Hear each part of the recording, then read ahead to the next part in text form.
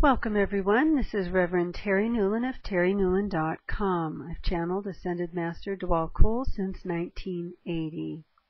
Today's spirituality article, information for the week of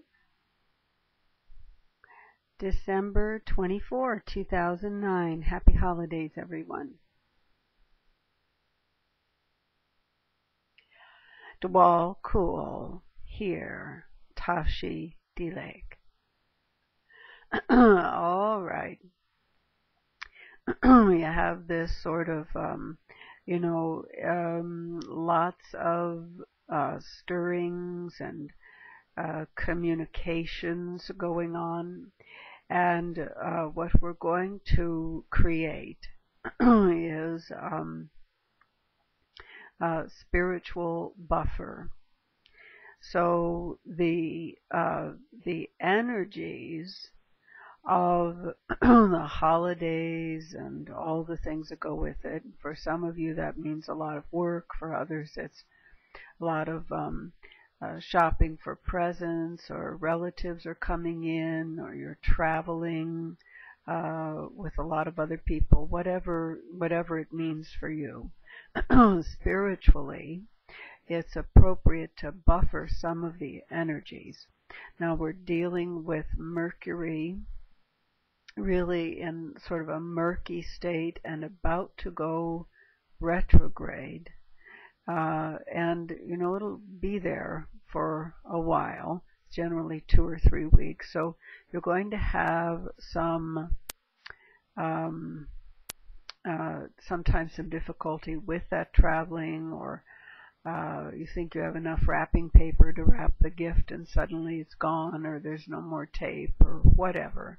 So you're going to be seeing um, all kinds of things that uh, could either become troublesome or uh, you can gracefully move through them. so we're creating a buffer in the energy field that just sort of tones everything down, you know, or so for some of you, pardon, for some of you it's more like it waters it down or it makes it tolerable. So um, uh, just a simple statement for this one I think is appropriate. I allow my spiritual buffer to work. I allow my spiritual buffer to work. I allow my spiritual buffer to work. Now, if you're one of those that's usually just wide open, you know, uh, overly sensitive, or maybe you're so full blast other people are sensitive to you, that will still work in your favor no matter which direction uh, it is uh, uh, actuated from inside the body or from outside coming towards you. Uh, let's also just take a moment to um, acknowledge world peace. um, and some of the affirmations are I create peace.